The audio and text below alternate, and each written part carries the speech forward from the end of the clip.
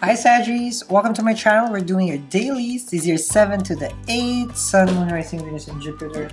I will give you guys, ooh, this one, the calming spray. Mm-mm-mm. Ooh, that's very calming. okay, we have lavender amethyst. Okay. Oh, that's good. Lavender amethyst. I feel a lot of juju being cleansed. Alright, anyhow, let's begin. Sun, Moon, Rising is a little bit chilly. Okay. Because the AC is on. okay. Sun, Moon, Rising, Venus, and Jupiter. Here we go. Ooh, mm-hmm. Okay. Well, there was a chart. I see someone trying to move out, move in, travel to see one person. Okay. Let's see. Mm-hmm. Here we go. You have your Two of Swords. The choice is yours, basically. Or the choice is theirs, whichever. The longer you don't make this choice, the difficult the situation can be. This is matters of the mind and the heart, trying to connect everything, trying to put two and two together. It's a head over heart decision also, and then you're trying to make it as one. You don't want to commit a mistake. Vice versa. Okay?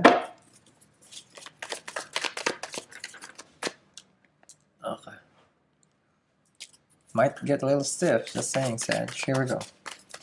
Other person. Ten of Wands. You've done it. They've done it. You've reached the point of... It's so difficult. I, I don't even know how long. How long before I let go? How long before I make the decision to either take more responsibility for this person or to just let go of it? But it's about to, you know, this is someone who's, um, I call this like someone who works hard also. This is someone who brings home the bacon, you know, but we don't, um, I don't want to harm pigs, okay, just saying. Let me see here, next to the Two of Swords. Oh, hello. Do you have a scorpion in your sign? Because Scorp's got this. A head over heart. Two of Swords, of course, as an air, that's your head. Okay, airhead, really? Are they an airhead? Are they all about their head? And Two of Cups, of course, the energy where they love you. You love them, and you're trying to put two and together because it's like, why do we love each other and yet there's so much burden? Why is it this thing is more prominent than love? Why is it every time we try, you try to go? And I'm always the one trying to go after you. Why do I have to chase you? A lot of whys. That's a two episode. Because you're in a crossroad. You're starting to question the the love between the two of you. Let me see here. Underneath the ten of one. No, that's it. Oh!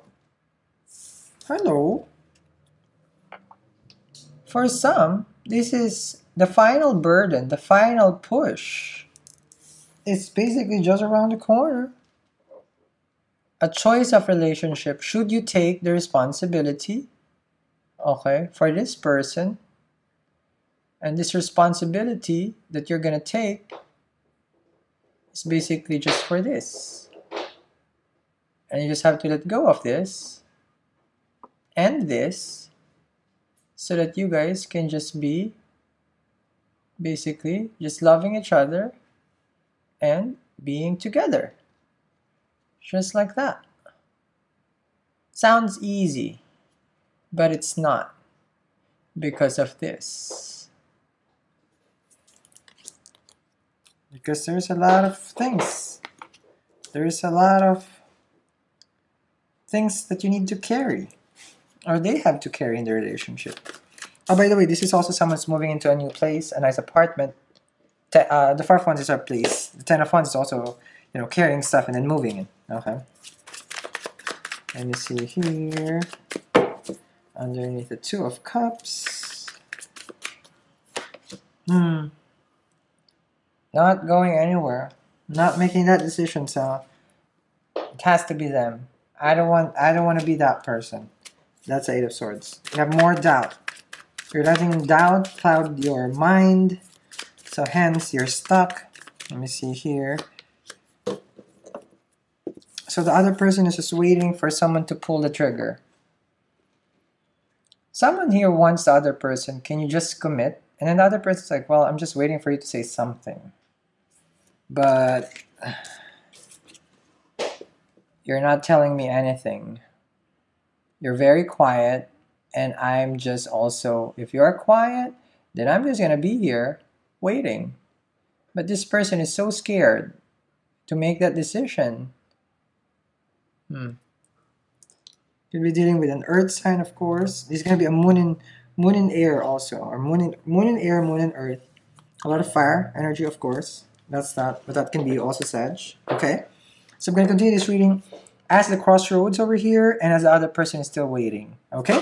Thank you very much, Sagittarius, for watching. This is your 7th to the 8th. I'll see you guys again. No, it's not winter. Okay? Bye, guys.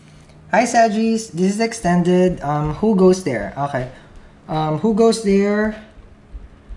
Um, if you are in a situation where you, ha- you are already um, with a person, if you also have a scorp in your side also, like you're an in-betweener, it's good.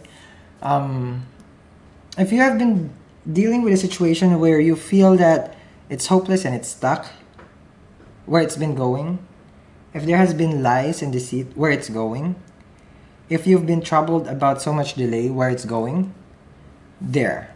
it's going there, just extended. Okay, so that's where I see. We, we identified um, a, a period of month, a period of like two months that we have, per, uh, per, um, and also by the year. We did by the year also. All right. So thank you very much, Sagis. I'll see you guys again. Next is the snippets. Bye. The star card, right? But before that, seven of swords with a queen of swords. A lot of things that will go to your favor. Now let's see. You know, the whole journey will unfold even further. The husband and wife, Vedic sidereal also together already. Not even in separate. You guys are together.